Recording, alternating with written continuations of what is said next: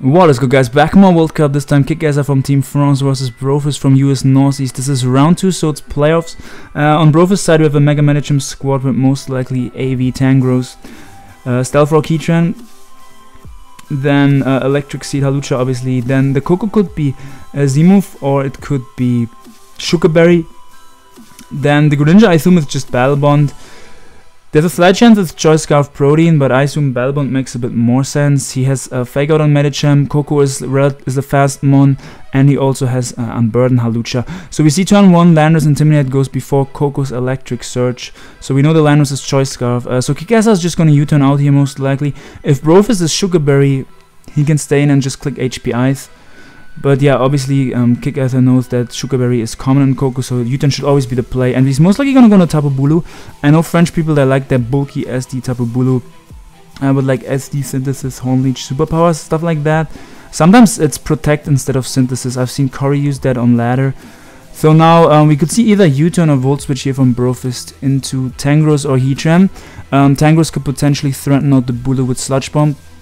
Heatran could um, threaten it out with a Magma Storm or just get up the rocks.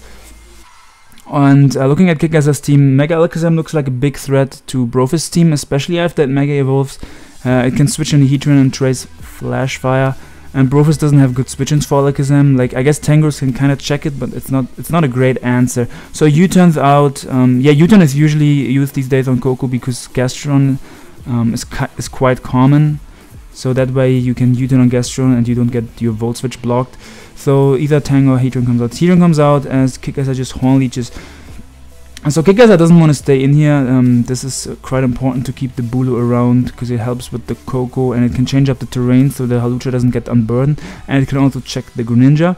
So Alakazam or um, either Alakazam or Greninja was going to come out. But yeah, Alakazam is makes a lot of sense there. You see the Heatran doesn't have leftovers, it get grassy terrain back to get back to full, but it didn't have leftovers, so it's most likely Heatran on Brofist's side. Um, so Kickasser could just hard focus blast here. Um, Brofist. If he has Toxic, he could go for that, or he could go hard into Tangrowth. He goes for Protect, okay. And Kickasser has a common Mega Alakazam, which is not common, but this works out really well for Kickasser. Not sure why he protected there.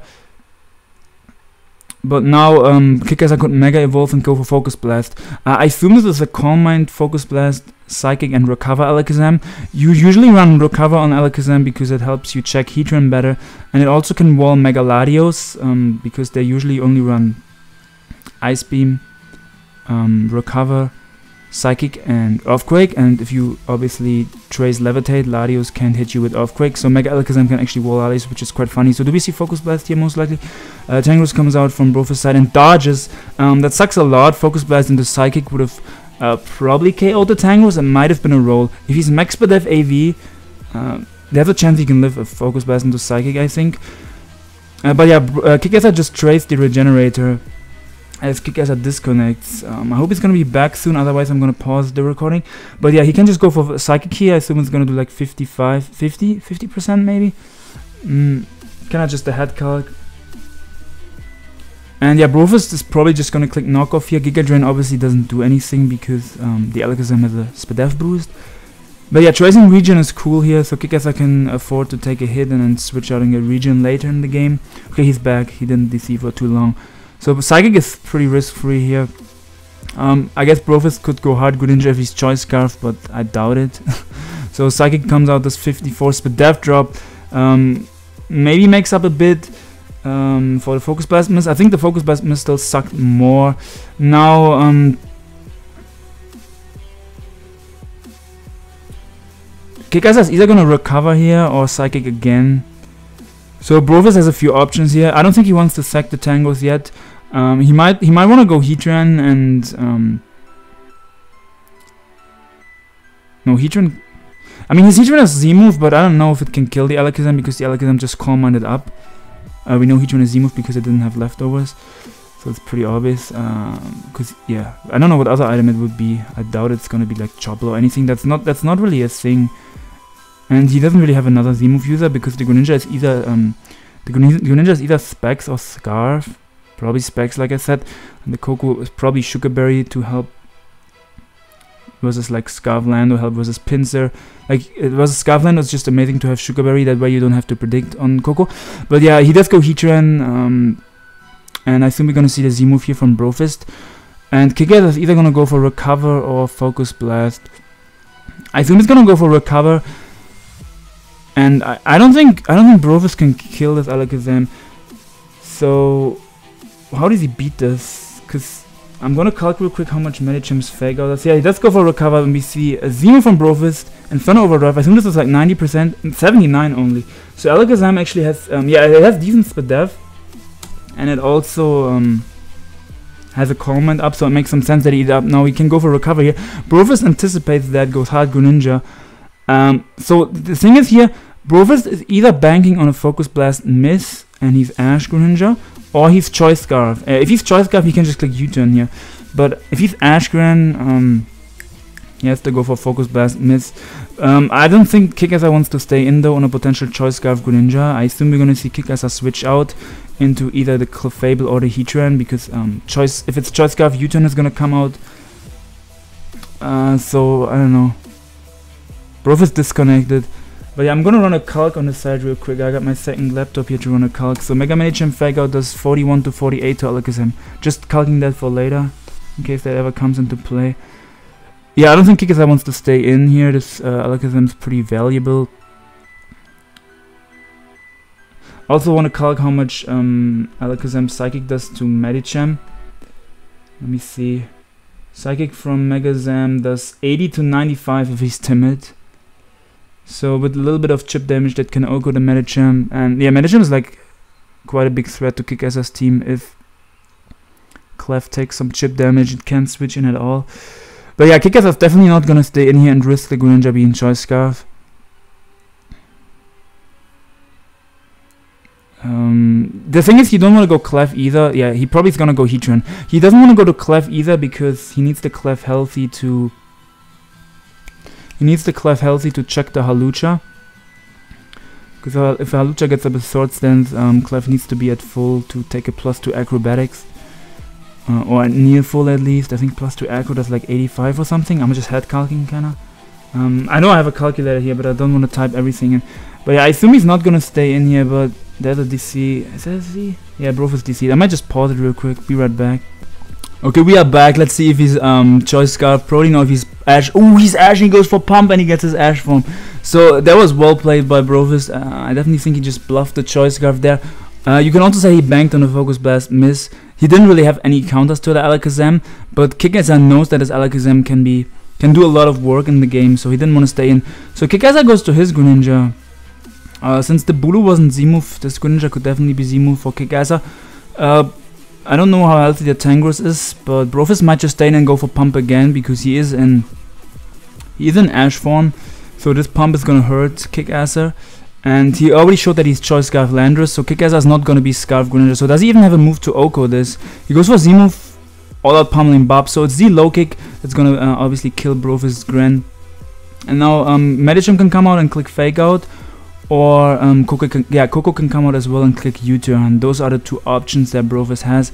So yeah, Koko is just gonna click U-turn here, and I assume the Greninja is just gonna get sacked. Oh, he goes Bulu because Greninja dies to rocks anyway. I know it's an extra sack, but if you go Bulu, you take rocks. He clicks U-turn, and um, he gets momentum anyway. He can go into his Medicham here, or Heatran. I think Medicham is the better play, and then Medicham can probably just click Zen Headbutt, because the Greninja dies to rocks, so um, he doesn't have a Zen Headbutt immunity. Is what I'm trying to say.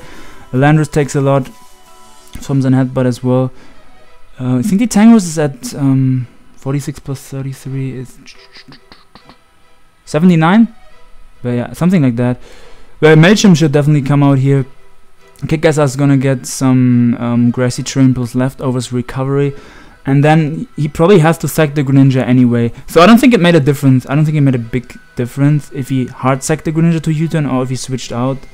Uh, because yeah, this Bulu can get the health back from terrain and lefties that it loses um, to U-turn and rocks. Actually, it takes a little bit of chip, yeah. So I probably would have just hard sacked the Greninja, but it doesn't. It's not too big of a deal. Um, I think I just disconnected, so let me pause it. Yeah, basically uh, I disconnected. We're gonna rewatch the turns that happen. So the Medicham came out, and the Bulu showed to be a protect version. Um, but yeah, I've seen Corey use that on ladder. I think I said that already in the video. So he gets some extra health back, and I think now he just has to sack the Greninja because I think um, Zen Headbutt would still kill the Bulu otherwise. And now um, Scarf comes out. Scarf Landorus is most likely just going to click U-turn here. Brofist uh, doesn't want to take any chip on the Medicham. Goes hard Koko knowing that uh, U-turn is most likely going to come out because yeah he has like a Tangrowth and other stuff. There's no way he would click uh, Earthquake. So um, Zam can come out and click Psychic here. Um, so Brofist has to sack either the Tangrowth or the Heatran here. Uh, he can also sack the Koko and then go into Hawlucha afterwards to scare out this Alakazam. That's another option. But he kind of just has to pick a fodder here. So let's go Heatran. Psychic comes out. And yeah, another Psychic. If this is a roll, um, Kickers, I might want to click Focus Blast here. But I assume he's just going to click Psychic again because Heatran um, can't really touch this Alakazam. It already used the Z move. So yeah, Brofist just has to decide uh, what he wants to sack here. So he goes Tangrowth now. Um, since the Greninja is dead, um, maybe Brofist um, decided he wants to give up the Tangrowth. Because the Heatran still outspeeds the um, the Tapu Bulu. Not that Heatran is gonna do much though. But um, yeah, now he can. Yeah, I guess he knew that Tangrowth could live two hits, and now he can, if he wants, sack um, the Heatran because he got the knockoff damage off on the Alakazam. Well, I guess uh, Recover is a potential play here for Kick as I predicting the switch. S like Brovis might want to stay in predicting the Recover um, because if he stays in and keeps the Alakazam low, uh, Medicham's fake out can revenge kill. Medicham's fake out does 41 to 48, right? So he does go for recover. Um, Brofist goes hard into Medicham, um, predicting that.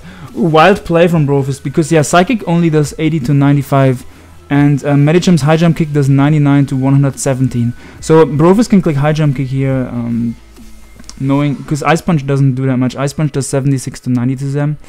Um, high jump kick is definitely the play here, knowing that um, this Alakazam doesn't have Shadow Ball, so Alakazam can never kill you. Since it already showed that it's Calm Mind. So he goes hard into Landorus, um, predicting a high jump kick, I think. Brofist goes for high jump kick and misses. Uh, really annoying miss for him.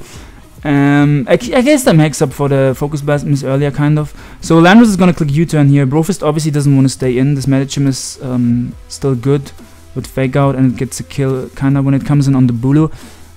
But yeah, Out is also good for the Alakazam if the Alakazam can get in range. Uh, yeah, definitely U-turn is gonna come out here. Brofist is either gonna go um, Heatran or Koko again. Um, I think Heatran or Tangrowth actually. Because you don't want to go Koko because um, he could have potentially clicked Earthquake there. So he goes Heatran, there's the U-turn. And now uh, Alakazam probably comes out again, yep. And Alakazam most likely just gonna click Psychic here. Uh, the Heatran is definitely in Psychic range now and Brofist has no Psychic switch in either. As um, my second computer just made some weird noise that threw me off. but yeah, Psychic gets a kill here. He has to decide what he wants to sack. So he goes Koko. Koko's gonna die to Psychic, and this pretty much means he has to go Hawlucha here to use um, to get the Electric Seed activated. And now Kickasser probably doesn't want to stay in here. Um, he might just want to go hard Clefable. So if Brofist wants to predict the switch here, uh, he can potentially go for Swords Dance. Uh, isn't isn't Kickasser does Kickasser need this Alakazam to win? If Kickasser stays in and dies to acrobatics, um, let's say he stays in and dies to acrobatics, then he can go afterwards into clef and click moonblast twice. And then his clef gets low. Yeah, I think I think he goes hard Landorus as Brofist predicts the switch and goes for SD. Yeah, I think that was a misplay. Um, maybe hmm, I'm not 100% sure. But yeah, Landorus is most likely on a U-turn here, yeah. So now he's gonna go Clefable. So the only thing I can think about why you would go Landorus, if you if you switch, the reason why he went Lando over Clef is he wants that U-turn chip because Moonblast from Clefable has a higher chance to kill the Hawlucha with that U-turn chip. But I'm still not sure if that was the correct play. He might have just been able to win um, by staying in with Alakazam. Um, but yeah, you obviously have to click Moonblast here. Uh, acrobatics, I think, is a roll to kill this. I'm gonna calc real quick. Um, Clefable, I assume it's max defense versus Halucha. Hawlucha is adamant, I assume. Yeah, that, that's the most common. That's uh, there's no reason to run Jolly. So um, plus three acrobatics um, with no item does at plus three does 86 to 102. So this only has a 12.5 chance to OHKO the Clef. And Moonblast um, depends on the Hawlucha set. If it's the 152 HP sp spread, um, Moonblast is 84 to 99. If the Hawlucha has no bulk, which we have seen lately, um, Hawlucha just run max speed so that they at least speed tie with opposing max speed adamant Hawluchas. Then Moonblast does 94.9 to 111, which means um, this is pretty much a guaranteed kill, because even though it says 95, um, if this has no HP investment, I think Moonblast is going to kill it, is what I'm trying to say. So Brovis uh, has to just click acrobatics here and he has to go for the roll. It's a 12.5% chance to kill and he gets it. Oof. So now Brovis just wins. Um, because acrobatic kills everything on Kick-Ass's side and Alakazam is obviously slower because of the unburden. So if he stayed, he, I don't know, did he misplay? He, he did, yeah.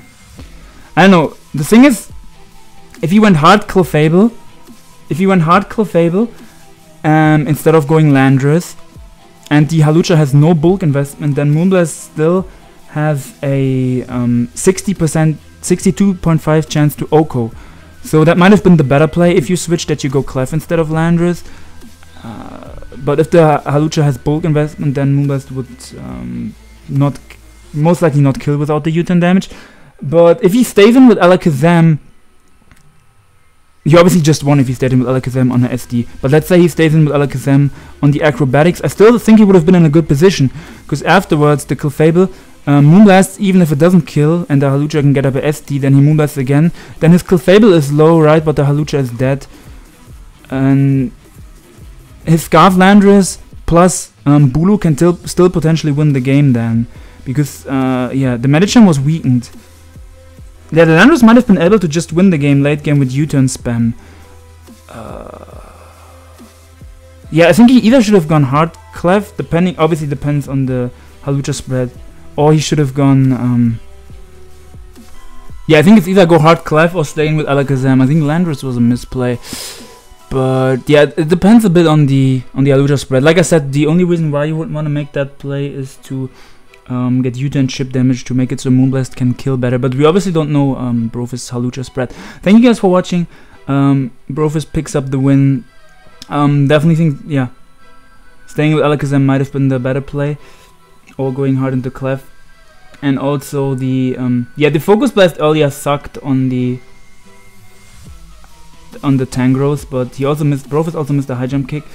So I think the Hex was kind of even and the um, there was a slight misplay at the end on Kickass's side that cost him the game. But yeah, explain. Let me know in the comments. Um, maybe I messed this up a little bit. I'm on I'm on three or four hours sleep, so if I messed anything up, it's my bad. Uh, thank you guys for watching. I know there have there hasn't been too much content. Been kinda been kinda busy. Also not really not not feeling recording too much. Um, but yeah, don't worry. I'm gonna be back. Uh, whenever it's also like the weather is a problem at the moment. Like in my room, it's like it's like impossible to record. the sun shines in my room immediately. That's correct English even. But yeah, nice and I'm the goat at fucking up my outro. Thank you guys for watching. Have a fantastic day. Smash that like button if you enjoyed and peace out friends.